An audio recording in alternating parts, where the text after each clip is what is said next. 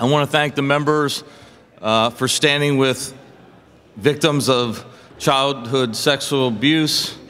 This is a, a great day for Pennsylvania, a good start.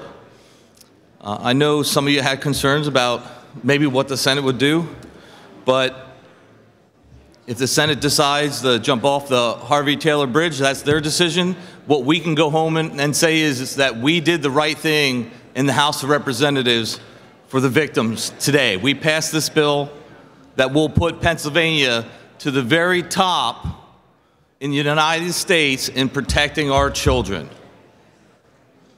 And if you had the time to read the grand jury report and understand how disgusting and egregious and heinous as it is, it's, I've had so many people reach out to me and tell me that they could only read parts of it. And the people who live out in Pittsburgh should really question their leadership out there when you hear stories about boys wearing gold crosses around their neck so they could be easily identified by other priests so they could be abused.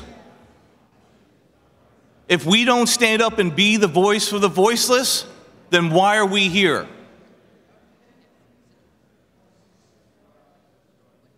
And I understand that some of us have some constitutional concerns. After all the case law that I studied, I thought it was unclear what would happen. But all victims ever wanted was an opportunity for justice, to be able to walk into that court of law and expose their perpetrator. And maybe we could protect future kids from being abused. That's our job here in this Commonwealth. That's what the 10th Amendment says. That's what the 14th Amendment says.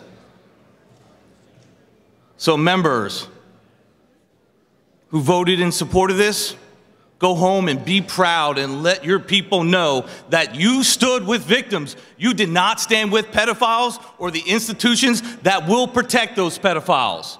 And Majority Leader Dave Reed, for calling up that vote yesterday while all those victims were here so they could be part of this process, they will never forget that. As I said it before, your moral compass has truly guided you and you will be sorely missed here on the floor. Leadership like you does not come around often, and I'm glad just to be part of this body with you in it. Members, go home and be proud of what we did today.